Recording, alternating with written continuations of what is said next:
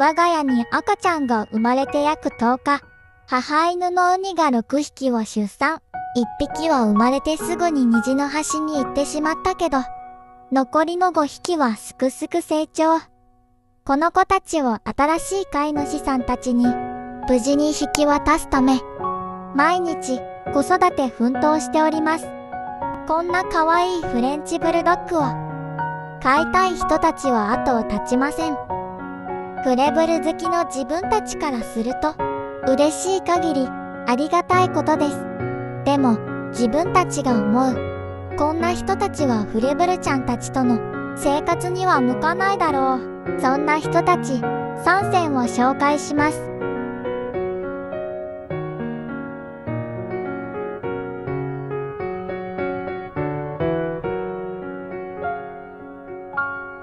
フレブルちゃんたちはとても皮膚が弱いです。大きくなると顔のシワなどが増えそのシワの間などをきれいに拭いてあげないとすぐ皮膚病になったりします。アレルギー持ちの子も多くて毎日のケアや観察がとても大事なんです。なので毎日フレブルちゃんたちと向き合えない人たちは猫を飼ってください。にゃんにゃん猫かわいいにゃんですよね。なあ私めたちも猫ちゃんと暮らしたいです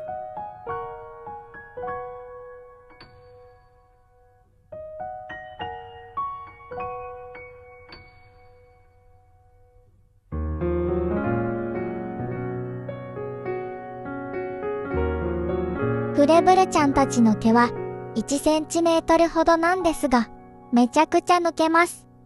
ブラッシングでケアをして、毎日掃除機、モップかけをしても、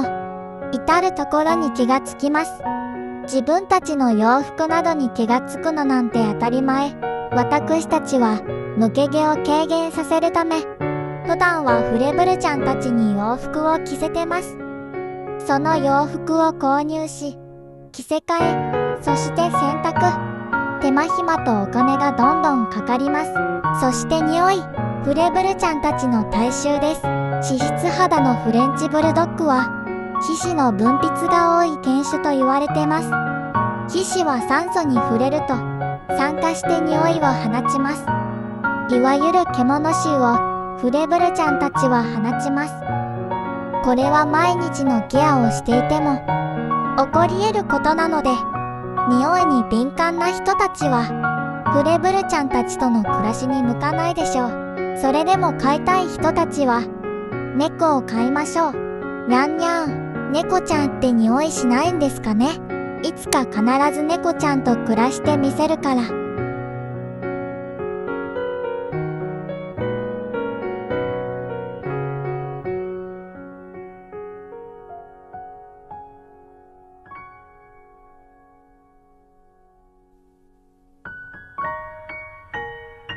夫婦共働きでフレブルちゃんと生活されてる方々はもちろんたくさんいられると思いますが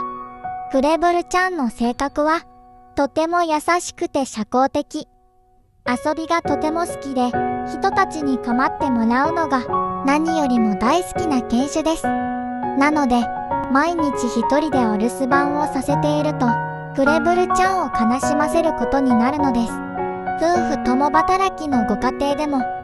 ケアのこともありますのでおじいちゃんおばあちゃんなど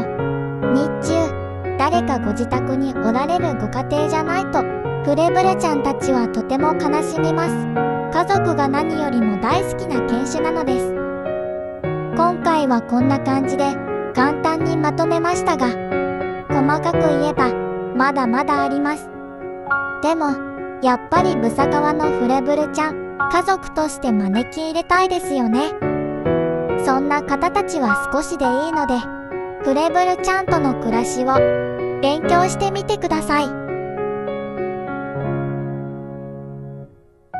買うのは簡単だと思います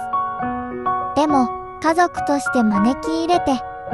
一緒に生活をするとなると可愛いだけでは幸せにはなれません。皆が知識をつけてフレブルちゃんたちを家族として招き入れてくれたら幸いです。ご視聴いただきありがとうございました。チャンネル登録、高評価、よろしくお願いします。